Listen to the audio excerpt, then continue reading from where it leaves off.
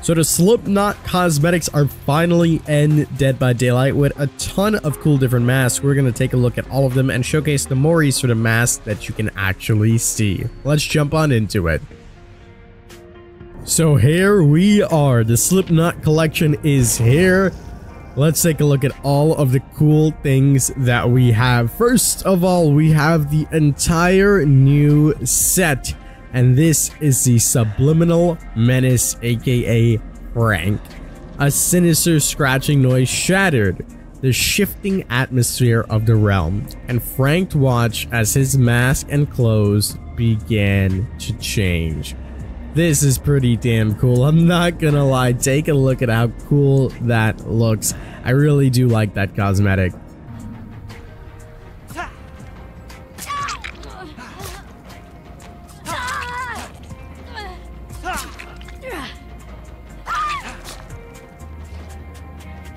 Next up, we have the Ashen Quake. A spine-chilling growl echoed through the realm and the trapper found his predatory instincts concealed behind a new wicked grin. This is definitely probably my personal favorite cosmetic, especially since it's on my boy Trapper. This is looking really stellar. Next up, we have the Metallic Grill. This is really, really awesome as well. I really like the mask that they have. I know a few people said that this cosmetic should have been for the Knight, uh, I can kind of see that, but still, I'm, I'm pretty happy that this is on the Wraith. This looks pretty nice as well. Overall, this is probably my second or third favorite up here, except for the set. We're not counting the set, but th this one's really good too.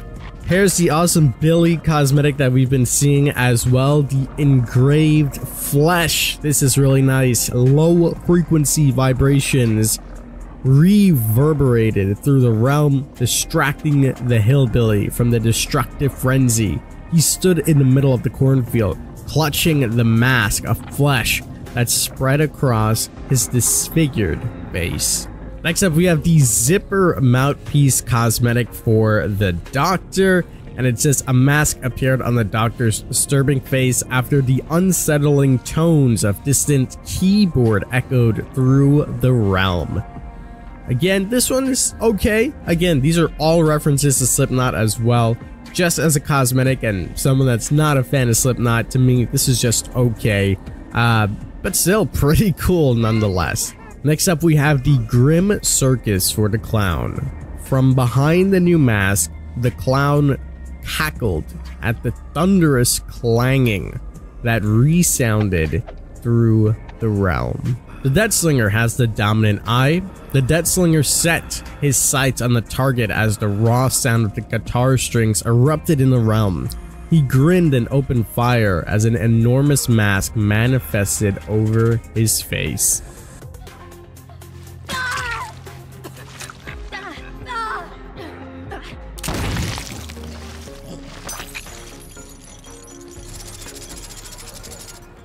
Molded Visage is what we have for the Blight. As a rapid fire pounding echoed through the realm, a gruesome mask wrapped itself around the Blight's face, serum gurgling from his maw.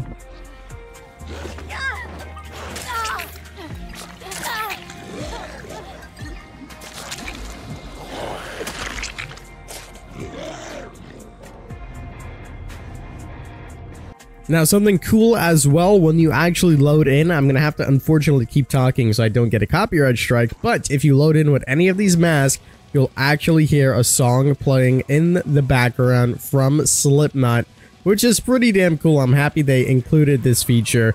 Unfortunately, like I said, I can't really stop talking or else it'll pick it up as a copyright, so you can listen for yourself if you buy any of these cosmetics, but that is a really cool and neat feature.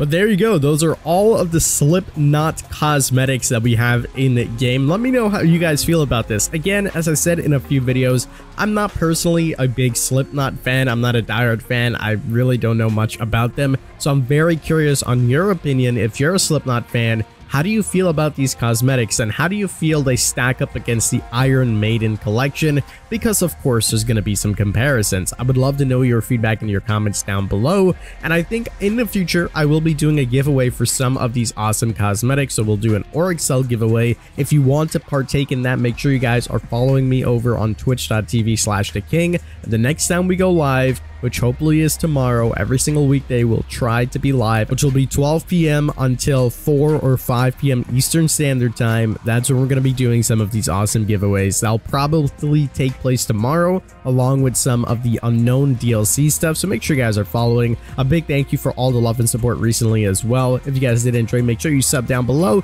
Tell me how you feel about these cosmetics. And as always, I'm the king. I tip my crown to you guys, and we'll see you in the fog.